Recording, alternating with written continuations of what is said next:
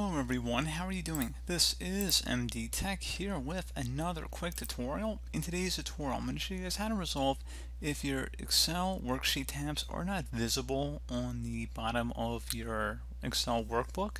So this should hopefully be a pretty straightforward tutorial guys, and without further ado, let's go ahead and just jump straight into it.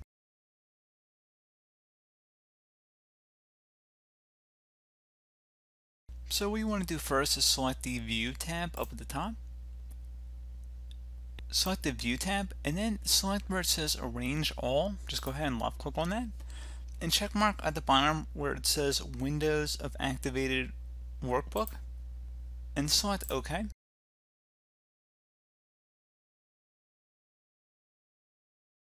And hopefully at this point that should have been able to resolve your problem.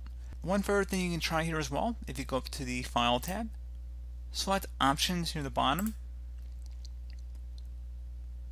Select the Advanced tab on the left side. And then on the right underneath Display Options for this workbook,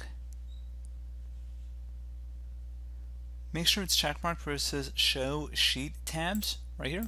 So make sure that's checkmarked and select OK. So again, hopefully that was a pretty straightforward tutorial for you guys. Thank you for watching and I do look forward to catching you all in the next tutorial. Goodbye.